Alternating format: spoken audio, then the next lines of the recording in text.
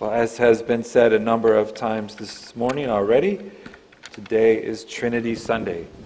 And so, reading from Paul's uh, book to the Ephesians, his letter to the Ephesians, um, chapter 4, verses 1 through 7 and 11 through 16.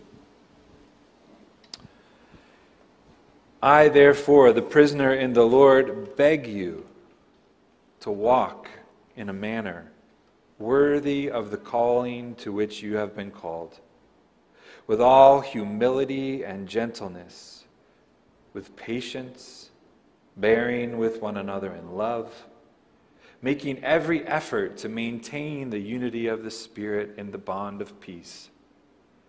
There is one body, one Spirit, just as you were called to one hope of your calling, one Lord, one faith one baptism, one God and Father of all, who is above all, through all, and in all. But each of us was given grace according to the measure of Christ's gift. He, that is Christ himself, granted that some are apostles and prophets, evangelists, pastors, and teachers to equip the saints for the work of ministry for the building up of the body of Christ, until all of us come to the unity of the faith, of the knowledge of the Son of God, to maturity, to the measure of the full stature of Christ. We must no longer be children, tossed to and fro and blown about by every wind of doctrine of people's trickery, by their craftiness in deceitful scheming but speaking the truth in love. We must grow up in every way into Him who is the head, into Christ, from whom the whole body, joined and knit together by every ligament with which it is equipped, as each part is working properly, promotes the body's growth in the building itself, in building itself up in love. Friends, this is the word of God for the people of God. Today is Trinity Sunday. Did you know that? Where we celebrate, as Pastor Heather so beautifully said with the kids, although I have to admit I was watching the two small kids crawl towards each other. No offense, Pastor Heather. We celebrate the unfathomable mystery of God's being as a three in one and one in three. It's a day of adoration and praise of the one God who is infinite, incarnate, and intimate. And we don't just believe in one triune God, although we do believe, right?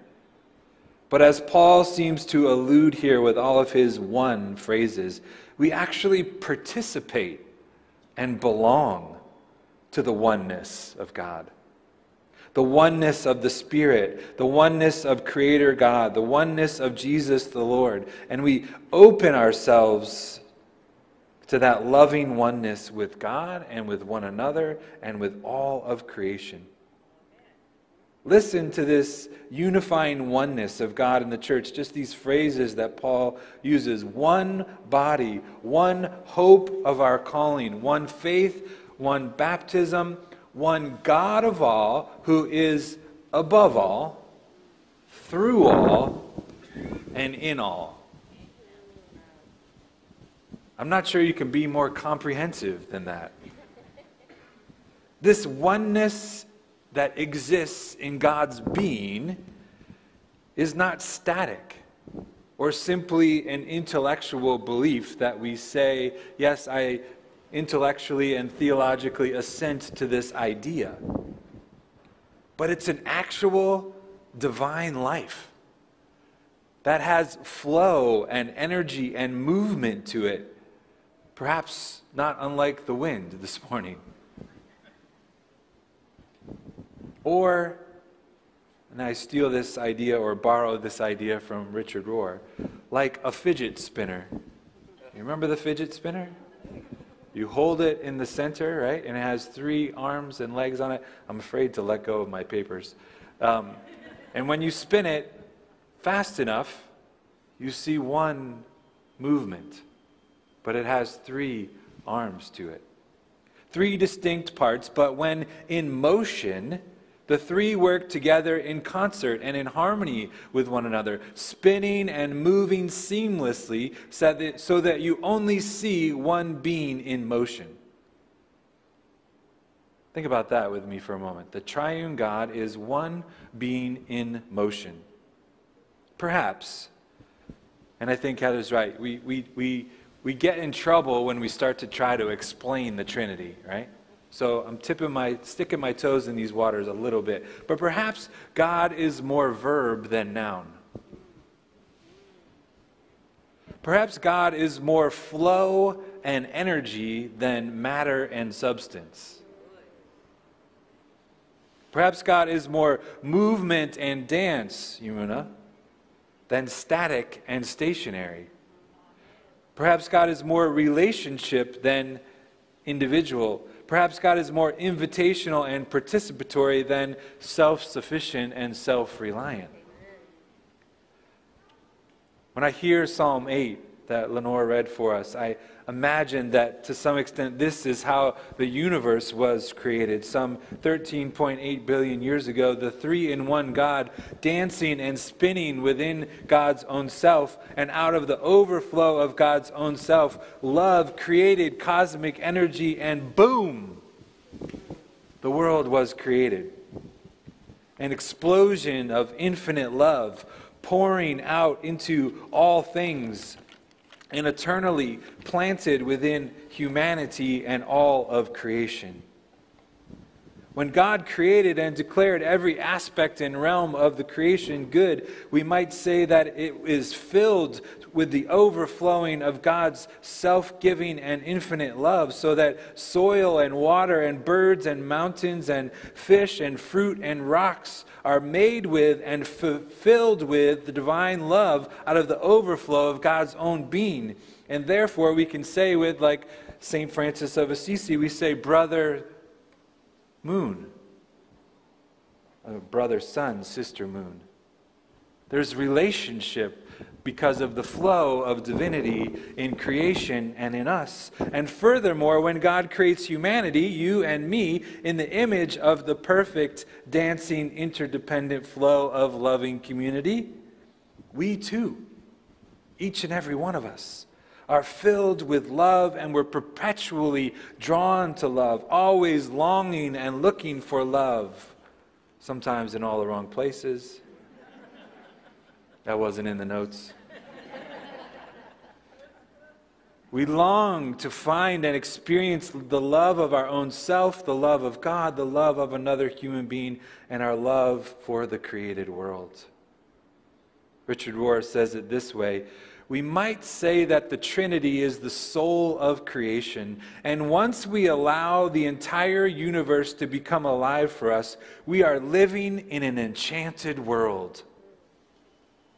Nothing is meaningless. Nothing can be dismissed. It is all whirling with the same beauty and the same radiance. And we must realize that we are the continuation of that radiance in our small segment of time on earth. And we can either allow it and let the Trinitarian flow flow through us, or we can deny it, which is to deny the divine image in each of us. We are the continuation of the radiance of the Trinity. This, to me, is compelling. We, the church, are intended to reflect and become the unified flow of God, loving and serving and submitting and honoring one another, just like our three in one God does. And we can either allow that flow of the triune love to come through us and flow through us into others, or we can deny it. We can choose in each moment to participate in our divine heritage and get into the flow of the triune love, or we can deny it and choose some other path. As Paul said earlier in chapter 2 to his letter of the church in Ephesus, God's plan has always been to make one new humanity. Tearing down dividing walls of hostility between alienated groups of people, making peace, bringing reconciliation and unity between all people through God's one Son and one Spirit. And if we are all one with God, who is above all, through all, and in all, we are also intimately connected to each and every other person on this earth. I mean, Jesus taught about this, right? He knew that everything was interconnected. Each person was connected to one another. He seemed to say throughout his teaching, What you do to God, you do to me. And what you do to Jesus, you do to the least of these. And what you do to your neighbor, you do to yourself. And what you do to yourself, you do to your neighbor. We're all connected. Now, this is good news, and it's really hard work. See, while the unity and oneness of the triune life of God is a fact, in my opinion, it is a reality, it is not fully realized. We must awaken, grow, mature, and as Paul says, make every effort to maintain the unity of this oneness. This divine reality within us and in the church must be cultivated and developed. Listen again to some of these phrases from Paul's letter in chapter 4 that I just read. Walk in a manner worthy of your calling. Make every effort to maintain the unity of the Spirit. Mature in your faith. Grow up in every way into Jesus Christ. Lead a life worthy of your calling with all humility, gentleness, patience, bearing with one another in love. In light of this most gracious gift of being at one with God and one another, we are invited now to live a life worthy of that calling, a life worthy of God's overarching intention for all creation, which is to make one new humanity. God desires and is working to create in us the unity that exists between Father, Son, and Holy Spirit in the church. We don't create this unity, it is a gift to us. But we are called to nurture and develop it in a way that in the way that we treat one another. In Paul's explicit words, with all humility and gentleness, patience, and bearing with one another in love. I don't know about you, but those words are really hard to hear. Humility, gentleness, patience, and love. I can see them in the Trinity, right? I can see how Father, Son, and Holy Spirit, Creator, Redeemer, Redeemer, Sustainer, interact with one another. I can imagine how that is their community, that is their relationship. Of course, that's how God is. But God, you want me to be that way? They are also indispensable, if we look at Paul's words here, for our corporate growth as a church, our maturation into the unity of the Trinity. They're essential building blocks of unity because, as one commentator I read this week, he said this God has not only given the church its fundamental unity, but has also given the church a rich diversity of members. Each is a recipient of God's grace as the Spirit calls, equips, and gives people to the church. The goal behind such giving is not uniformity, but unity, which reflects and serves God's reconciliation of the whole creation in Christ. And then he says this If we are not encountering and learning to love people who differ from us within the church, then something is wrong. This is not the healthy community that God desires. This gift of oneness and unity does not mean uniformity. And this gift of diversity and differences does not mean division. The Father, the Son, and the Holy Spirit perfectly embody unity amidst diversity. All diversity is part of a greater unity, and like the Trinity, who self sacrificially and mutually submits one to the other, this is the vision of the body of Christ on earth.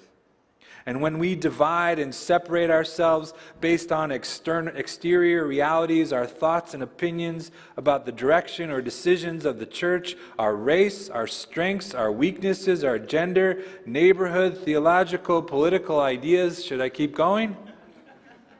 When we separate because of anything, we are not living in the flow of the Trinity. This is often, at least I know in my own life, the work of my ego. And the ego always wants to divide and creates binaries. I am this and you are that. I am right, you are wrong. I'm out and you are in. You with me?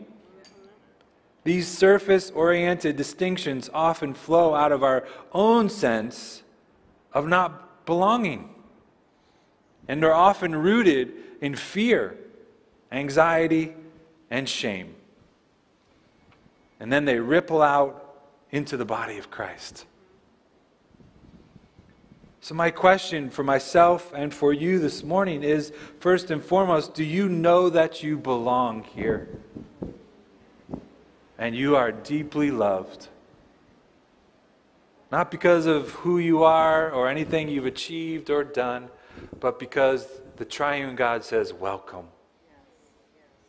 I invite you to walk through the chapel on your way out today and see the icons of the Trinity that are set up through Taizé, and they're all imaged after Rublev's traditional Russian Orthodox icon.